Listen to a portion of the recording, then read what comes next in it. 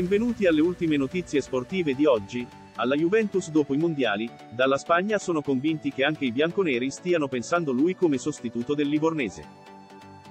La Juventus ieri sera ha dato un gran calcio alle critiche portando a casa la seconda vittoria di fila, finora la più larga di una stagione cominciata con il piede sbagliato.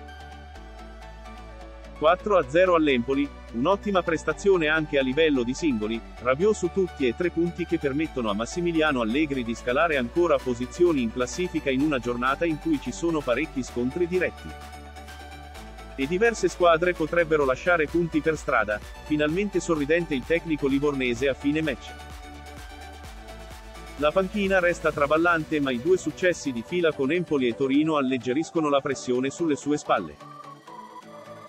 Pressione che si era fatta insostenibile, specie dopo la sconfitta, clamorosa, in casa del Maccabi Haifa.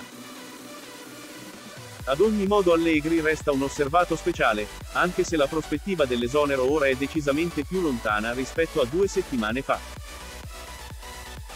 Molto dipenderà da quello che succederà nella prossima gara di Champions League contro il Benfica, in cui la Juventus si gioca parecchio e una sconfitta, così come un pareggio, può essere fatale. Alla Juventus dopo i mondiali, Luis Enrique è più di un'idea.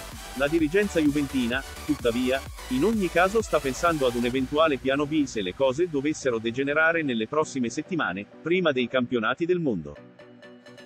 Secondo il quotidiano catalano, El Nacional, anche i bianconeri starebbero sondando la pista Luis Enrique. L'ex tecnico di Roma e Barcellona avrebbe in mente di lasciare la nazionale spagnola una volta terminata l'avventura mondiale, qualunque dovesse essere l'esito. E c'è chi sostiene che potrebbe finire nuovamente al Barca, dove Xavi è in discussione dopo il tonfo con il Real Madrid. Ma i Blaugrana non sono l'unica squadra interessata a Luis Enrique oltre alla Juve. Occhio anche a Bayern Monaco e Atletico Madrid, grazie per aver guardato l'intero video. La notizia è qui per finire, mettete mi piace e commentate, in particolare cliccate iscriviti al canale, per ricevere le ultime notizie. Ciao e ci vediamo nei prossimi video.